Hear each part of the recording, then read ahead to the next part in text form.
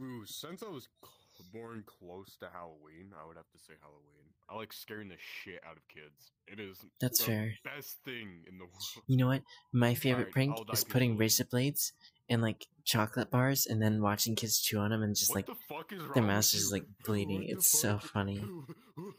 nah, bro. I've hospitalized a few of them sometimes. Nah, let me die. Oh, you fell for my prank.